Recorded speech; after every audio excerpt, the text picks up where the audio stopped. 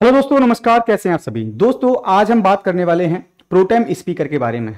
मैं ऐसा आज टॉपिक लेकर क्यों आया हूँ? क्योंकि आप जानते हैं, कल ही द्रौपदी मुर्मू ने भत्रहरी मेहताब को 18वीं लोकसभा का प्रोटेम स्पीकर नियुक्त किया है। आज हम जानेंगे प्रोटेम स्पीकर के बारे में। आखिर यह पद कैसा है?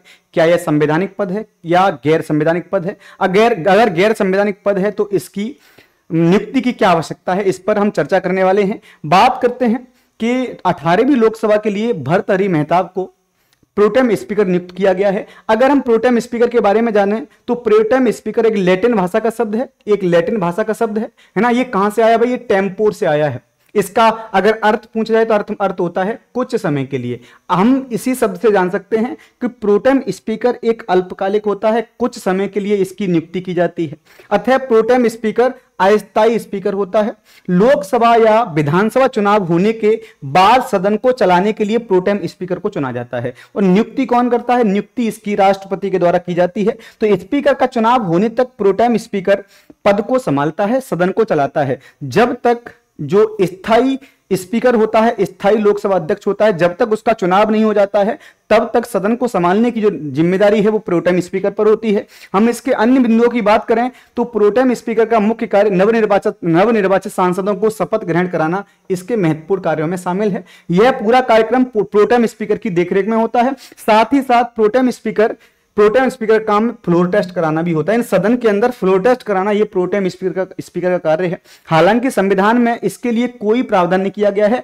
इसका उल्लेख संविधान में नहीं है, ये अलग से घटित किया गया एक पद है। राष्ट्रपति द्रौपदी मुर्मू ने संविधान के अनुच्छेद 95 के तहत वरिष्ठ सांसद भरतहरी मेहताब को 18वीं लोकसभा का प्रोटेम स्पीकर नियुक्त कर दिया है। अगर हम इस पद के बारे में जाने तो राष्ट्रपति ने संविधान के अनुच्छेद 99 के तहत भरत हरि मेहताब जो है प्रोटेम स्पीकर हैं, इनके सहायक के रूप में अन्य लोगों की नियुक्ति की है, जिसमें टी, के सुरेश हैं, टी आर बालू हैं, राधा मोहन सिंह हैं, फग्गन सिंह कुल हस्ते हैं और संदीप बंदोपाध्याय हैं। प्रोटेम स्पीकर के सहयोगी सहयोगी के तौर पर ये लोग कार्य करने वाले हैं।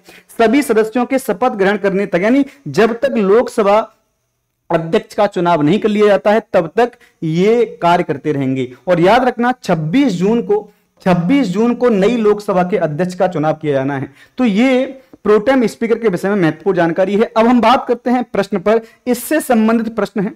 प्रश्न है, प्रोटेम स्पीकर का कर्तव्य होता है? ऑप्शन ए, स्पीकर की अनुपस्थिति में सदन की कार्यवाही का संचालन करना, सदस्यों को शपथ दिलाना, स्थानापन्न रूप से स्पीकर का कार्य करना, जब स्पीकर के चुनाव की संभावना न हो, केवल सदस्यों के चयन प्रमाण पत्र को चेक करना कि वह सही है।